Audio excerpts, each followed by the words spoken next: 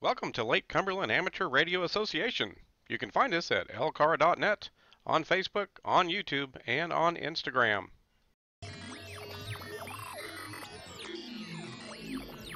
If you're enjoying the videos we're producing here at LCARA, please help our club out by hitting that subscribe button.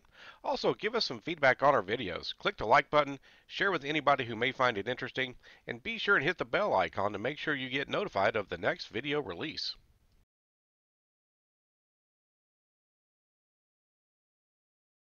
We're with Bob Greenberg here at Hamcation 2020, and I'm at one of the booths that is, to be quite honest, is becoming uh, really exciting because the type of radio they've got, the RF, uh, RF finder. Um, well, I'll let Bob explain what it does. Uh, Bob, what's really, what's what's the thing about this radio that makes it so interesting? Well, it's kind of cool. It's um, it's a two meter 440 DMR radio, DMR FM, and um, it never needs a code plug. So anywhere you go on Earth, it just works. So you don't have to program it Ever. ever. No, we don't even have a software cable or None of that. no, no, no. We just So- we just run the RFinder app. We're so used to going into one of the uh, the companies that sells software for programming radios and making sure we get the right cable. We don't have to do that anymore. No, no. It just works. So can you demonstrate it a little bit there? Yeah, sure. Well, um, uh, this is the. First of all, let me go back. I mean, it's a regular Android cell phone. So it's Android. All Right. right. So you see, we're on 4G LTE. We're on. Right. This one's on T-Mobile. Um, and if you uh, touch the RFinder app, it comes up, and it never needs to be programmed because it knows your GPS position, and then it shows you the machines around you.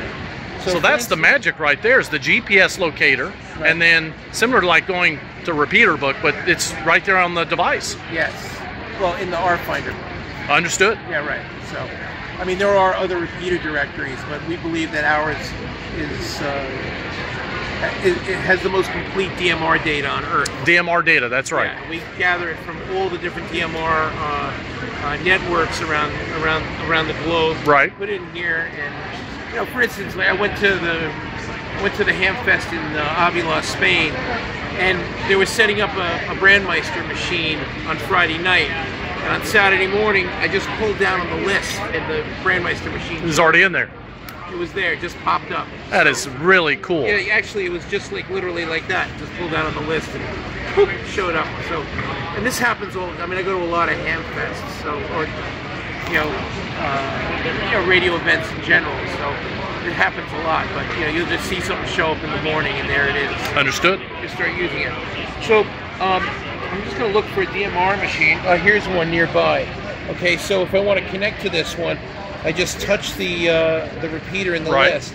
They send a radio, and uh, this repeater owner has properly documented his uh, talk time slot combos.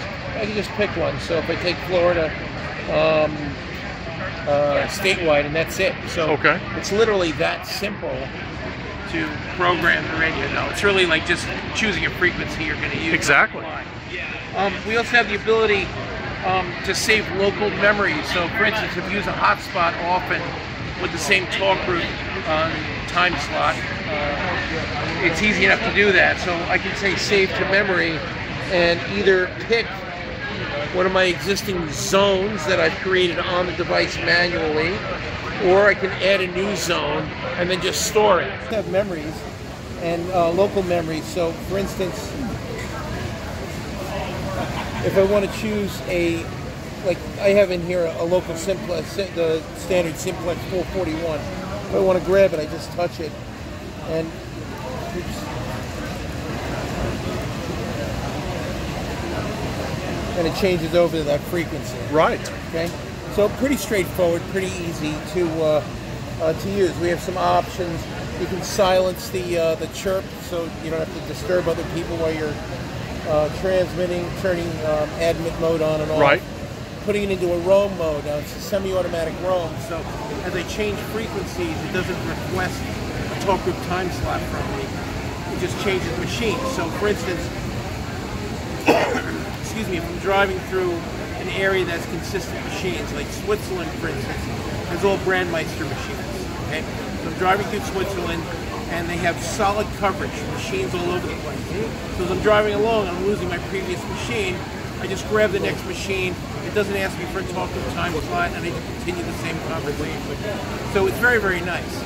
Shortly, we're working on right now, um, we just got a prototype of pulling the AMBE datagrams into Android, and shortly we're putting the hotspot functionality in. It won't be a hotspot, it won't repeat another radio, but it'll be an end node, an Right. IP end node for DMR Brandmeister, and then we'll move on to uh, uh, DMR Plus, TGIF, um, uh, C4FM, for instance, any of the AMBE2 style pro, um, uh, uh, codecs uh, protocols, we'll be able to uh, put that IP function in there. Very cool. So, yeah, so we're working on that right now. Um, so, what else do you want to see? I think that's else? pretty good, Bob. We just wanted to keep it short, but yeah, absolutely. This radio is, uh, uh, like I said, is it's in the circles that I'm running in, and, and some of the uh, guys where you can literally take a radio anywhere and not have to program it. Never. Uh, that that to us is huge. Never. I landed at Ben Gurion Airport in Tel Aviv. In Tel Aviv. Yeah. Pulled the radio out. I hit a machine on Rosh Chaim. It's a mountain about 15 miles south. Opened it up. I was driving to the coast towards Netanya, and I just started losing the other machine. The Rosh Chaim machine just opened up Netanya, and you know, but same kind of thing. Like Right. We've had this happen, and you know, in, in London, in in uh, in uh, in Spain. I mean, anywhere we go on Earth, it just works. And it's, you know, around the United States too, of course. You know, here in Orlando, I just pulled the radio and it works. So Absolutely. we're having a great time. Thanks everybody for your support on the app. Please download the RFinder app and uh, your uh, uh, support over the years has made it possible for us to, to create this fine piece of equipment. Thank you all for your support. Bob, we want to thank you for giving us a few minutes of your time. Thank you. It's 73s, everybody. Thanks.